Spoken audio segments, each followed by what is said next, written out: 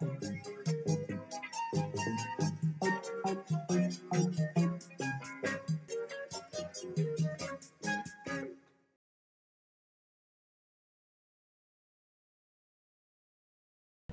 next morning, as Annemarie awoke, she went out to the barn.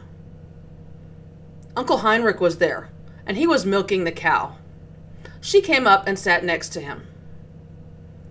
She said, Uncle, you lied to me. And he said, I know, don't be mad at me. And she said, Wait a minute, you told me that Aunt Birte had died. I don't have an Aunt Birte. Uncle Henrik said, It's important for you to be brave. Now, there's lots of things going on with the soldiers. It's just important that you be brave. If you're curious to know what happens, go ahead and read.